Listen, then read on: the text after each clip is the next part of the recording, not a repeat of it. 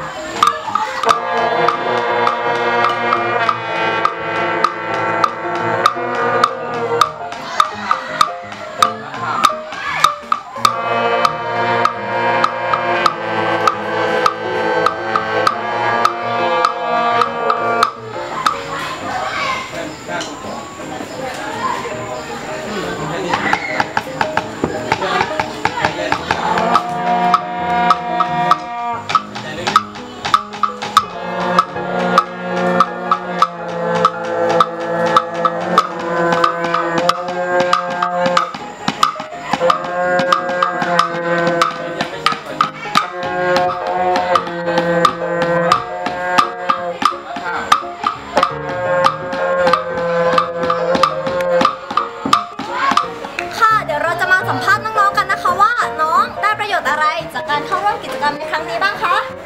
ได้ความแข็งแรงแล้วก็การได้ออกกำลังกายไปในตัวและความมั่นใจในตัวเองครับก็จะเห็นไปแล้วนะคะว่าการเข้าร่วมกิจกรรมของน้องเนี่ยมีประโยชน์มากมายหลายอย่างเลย ไม่ว่าจะเป็นฝึกความแข็งแรงค่ะ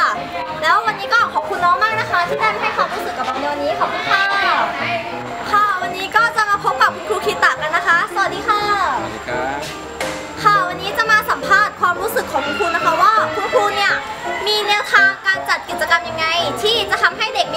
ใจอยากเข้าร่วมกิจกรรมในครั้งนี้คะอ่ากิจกรรมสำหรับดนตรีโยธวาทิตเราต้องเหมาะสมกับวัยของนักเรียนและเกิดความสนุกสนานและก็ท้าทายตื่นเต้นแล้วการที่เด็กได้มาเข้าร่วมกิจกรรมในในครั้งนี้ เด็กจะได้รับประโยชน์อะไรกลับมาบ้างคะอ่าประโยชน์ข้อแรกเลยนะครับ ได้ด้านพละกำลังนะครับ ร่างกายแข็งแรงสองมีอารมณ์ที่สุนทรียะสามารถอ่าปรับ ประยุกต์ใช้ในชีวิตประจำวันได้ ในเรื่องการเรียนได้ ค่ะก็ขอขอบคุณคุณครูคิตะเป็นอย่างมากนะคะ ที่ได้มาให้ความรู้กับเด็กในวันนี้ขอบคุณ